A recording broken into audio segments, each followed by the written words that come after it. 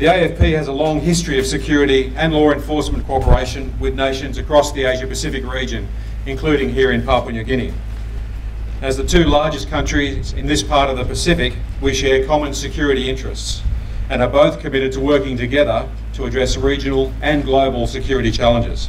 The presence of Commissioner Negus and his executives who have made themselves available at this welcoming ceremony speaks volumes about the importance of our country's place on our policing partnership.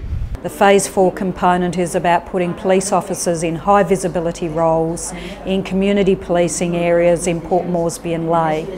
And that Phase 4 means that we'll have our police officers working with local police officers from RPNGC and they'll be in the markets, which is a major area of violence on a regular occasion, particularly in the evenings, and ensuring that we're reducing that level of violence and that we have high visibility community policing.